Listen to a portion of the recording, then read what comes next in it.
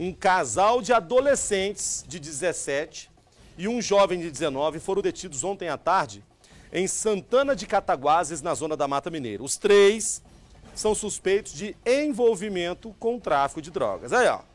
Com eles, a polícia encontrou 25 buchas e duas barras de maconha.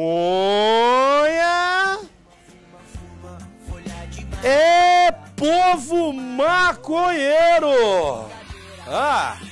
Mais 19 papelotes e uma porção grande de cocaína. Também uma balança. O material estava na mochila de um deles. Os três contaram para os policiais que iam para Campo dos Goitacazes, no Rio de Janeiro, onde a droga seria entregue. Uma quarta pessoa, moradora de Santana de Cataguases, também estaria envolvida, mas ainda não foi identificada. O trio foi detido e encaminhado para prestar depoimento na delegacia de Cataguases.